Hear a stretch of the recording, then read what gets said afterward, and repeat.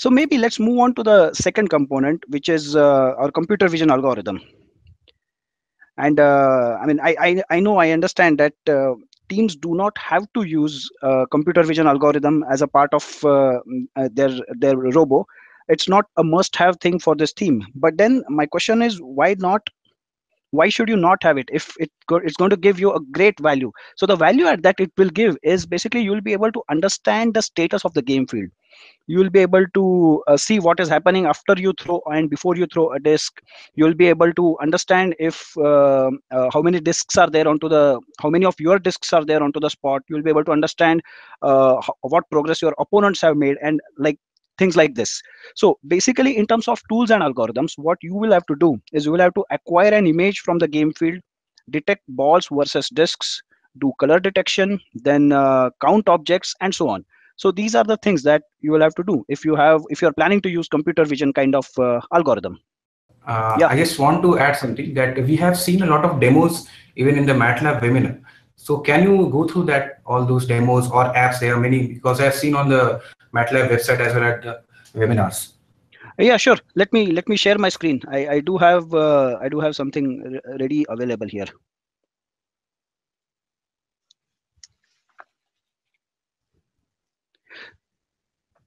So uh, this is the this is a typical computer vision workflow. Um, uh, and you can also see the MathWorks tools supporting specific tasks. It begins with image acquisition and pre-processing. Then you get into feature extraction, detection, targeting, and tracking, and so on. Today, we'll mainly cover the first part of the workflow. So uh, if you want to acquire an image into MATLAB, there are support packages for a variety of cameras. Today, I have installed uh, this one, which is a support package for generic OS interface, and I'll be using this. Uh, next, we focus on image processing tasks. I have listed a few typical tasks here. Uh, today, I'll focus on the color thresholder app and show you how to detect specific colors in a given image. What I'm showing you today is only the tip of the iceberg. Uh, with MathWorks tools, you can go the whole nine yards from image acquisition right up to hardware implementation. Uh, you can generate code um, C code from your computer vision algorithm in MATLAB or turn it into an executable file or a MEX file and then integrate it into your downstream workflow. Code generation enables you to spend much less time writing and debugging low level C code and more time developing and tuning your algorithms. With this approach, you maintain one golden reference in MATLAB and get to C code much faster having a single reference makes it much easier to make changes as the requirements change and you also get to test it more systematically and thoroughly with more real world scenarios as well. And uh, and finally uh, we have interface to opencv as well. We have seen uh, that a lot of student community is using the student is using the uh, opencv as a very popular tool. Uh, so basically matlab integrates with opencv uh, that allows you to mix and match tools where there are best suited. With that introduction, let's jump into a quick tour of our capabilities. How to get started using computer vision algorithms. And my answer to that is get started with the help of MATLAB's help. Now I'm opening uh, the help browser. Uh, this is help of MATLAB. Uh, we call it as doc as well. If I go browse all the way to image processing and computer vision algorithms, I can open help of computer vision system toolbox. This may seem common sense, but this has a lot of value. One thing here that you can look for specific sections here. You can get started if you're really new to it, or you can look for specific sections that you want. My favorite thing here is to get started with the help of examples. Each of these examples includes code that you can try and reuse along with helpful description of the task. So uh, you can step through the code, you can change, make changes to your code, you can change parameters, you can basically customize it and start this code as a as a starting point for whatever tasks that you uh, that you are doing, that you are planning to do. So that's a great value to that's a great thing to get started using computer vision system toolbox. That's the help. Yeah. Uh, Prasanna, you have also mentioned about some apps. So can you go through that? Oh yes yeah yeah yeah let me show you apps so onto the matlab home screen there is a special mention of these apps and um, especially for image processing and computer vision we have this dedicated section of apps So basically, now what is app? App is an interactive uh, environment. It's fun to try out popular capabilities in MATLAB using apps. For example, the image acquisition app is really popular. Uh, you'd use this to import your images from various sources. Another popular app is Color Thresholder. So let's try to open the Color Thresholder app.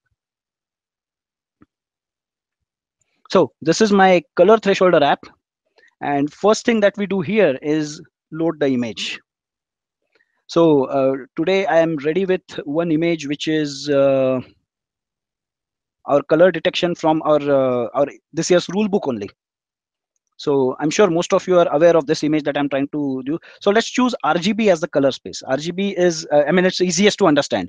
Basically, the image here is stored as a matrix with RGB values. You can see the statistical distribution of various colors, various colors in the pixels of the image and the same information can be seen uh, in the bottom right corner with the help of point cloud. Uh, now, for the sake of simplicity, let me hide the point cloud and let's work with this. Uh, the way this app works is uh, that you provide specific threshold values for RG and B as inputs, and then the algorithm detects regions in the image that fall in that threshold values. So let me, instead of saying, let me do it, let me try to do it. So I'm going to do it with the help of this region selector tool. So this region selector tool helps me to uh, choose some portion. So now let me choose the red portion here. And the moment I choose red portion, what happens is uh, basically it um, as soon as I select that region, it shows the distribution of RGB and in that region right here. So this is where you can see the distribution of RGB. So what is the R component, G component, and B component? And you can also see uh, other regions with with same color combinations in that um, in, in the image and it will be a lot visually clear if i show you the binary so in this binary uh, the regions in white are the regions of interest. Once this color thresholding is done what i can do is i can export it as a matlab function. So whatever color thresholding i did with the help of app is now available to me as a matlab function. Okay, yeah, uh, Prasanna, I just must say that this is really cool. Uh, I think uh, this is very helpful for the students if they're going for the competition. And uh, just, uh, I want to ask you one more thing. This you also told about some support packages. Yeah, yeah. So yeah, can yeah. you go briefly about them? Yeah, sure. So uh, basically support packages, let, let me quickly close this. So basically support packages are onto MATLAB home screen, click on add-ons and what you need to do next is you need to click on get hardware support packages. Let us quickly do that. So once you click on get hardware support packages, it will open the add-on explorer. There are a number of uh, hardware support packages available here. Now as it opens uh, you'll be able to see how what are the different things available. So this is a huge list and then it is really useful. So let us now that we're talking about image acquisition image processing toolbox let's see what are the relevant hardware support packages available. See on my screen now you'll be able to see various matlab support packages uh, relevant for usb webcams image acquisition toolbox. Then uh, there is support package for kinect. So like this there are number of cameras number of image acquisition devices which are supported by this hardware support package. It basically helps me to get started very easily yeah this is uh, very helpful miss and very much easy to install Yes, so that's very easy to install. Yeah, and let's also talk about the other hardware support packages like Arduino's. Our Arduino is a, a very popular uh, series. Now that we are talking about hardware implementation, see here you can see two kinds of support packages. One is MATLAB support package for Arduino hardware, and second is Simulink support package for Arduino hardware.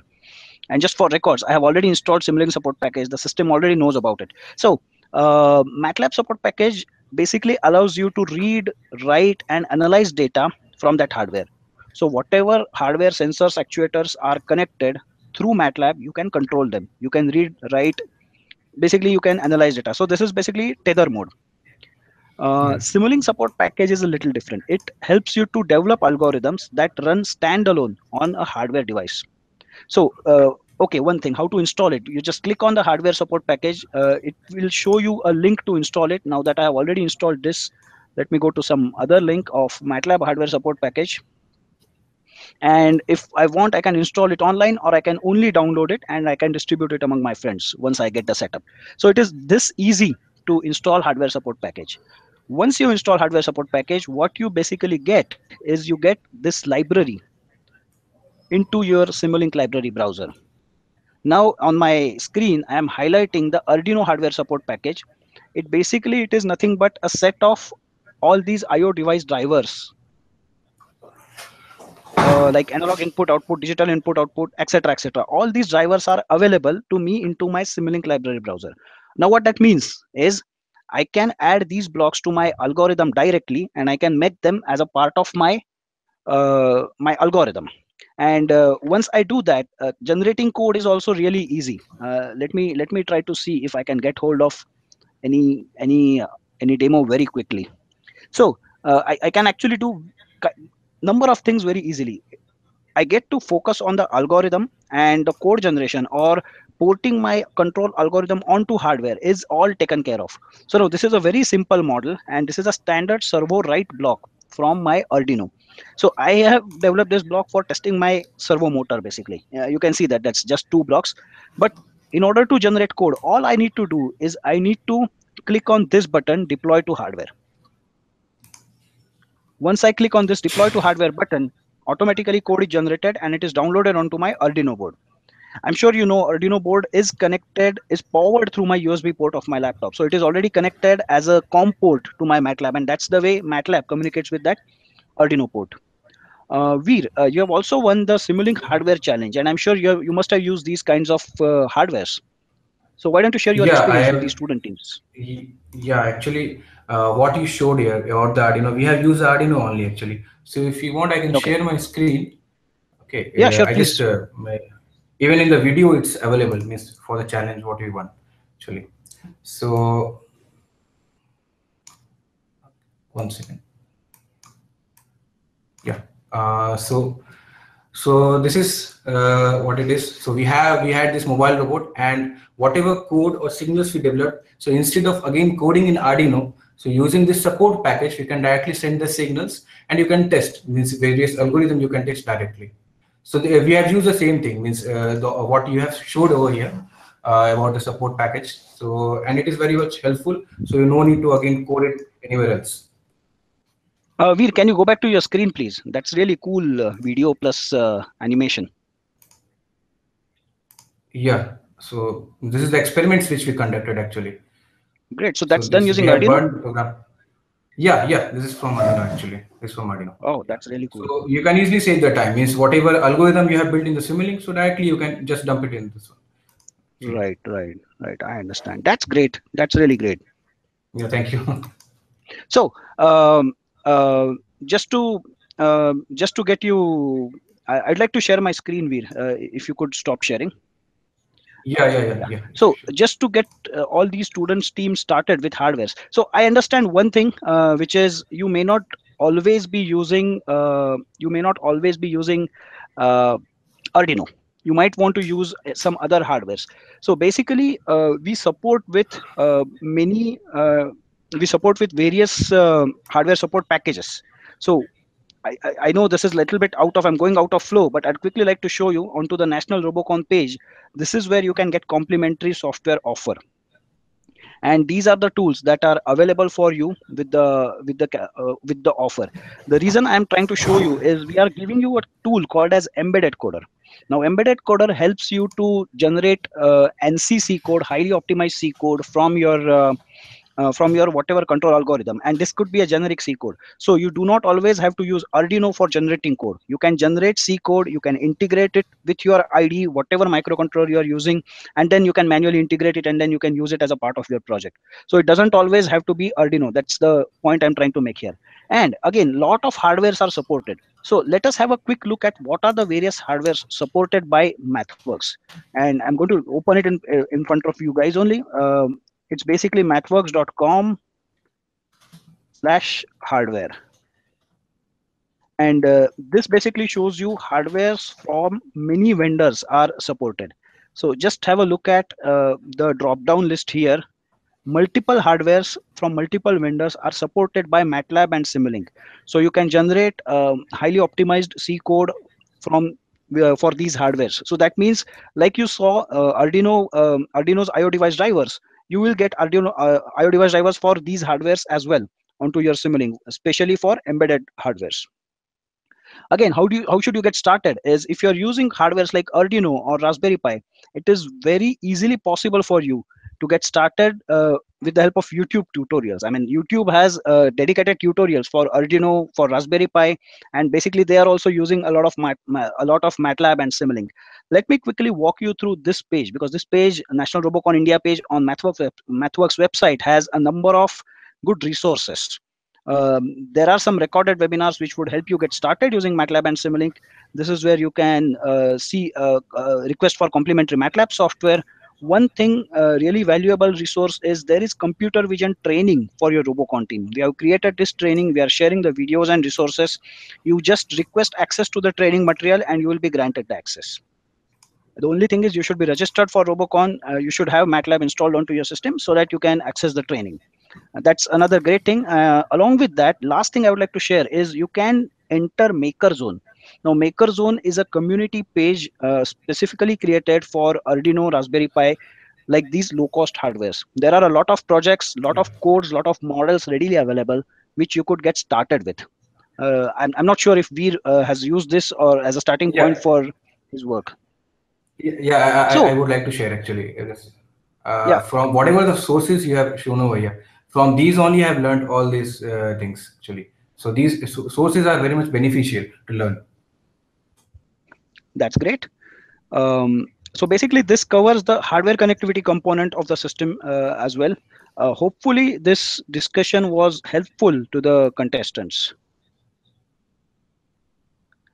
And um, before we end our uh, before we end our uh, mm, uh, our live session, uh, I would like to take your attention to few things. one thing is um, I'm sure question and answer are in progress at the moment. Uh, we'll try to see if we could. Um, uh, my my colleagues are already addressing your question and answers.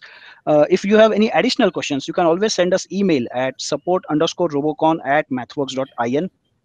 So that's a common email ID that student teams can use to communicate with me and uh, the complete Robocon team at MathWorks. Uh, you can access complimentary software offer and training videos from the National Robocon India page. We have already seen it. I'm writing a blog on Robocon India. The blog is on Element 14, but we are sharing it uh, on Facebook, ABU Robocon Facebook page, and everywhere.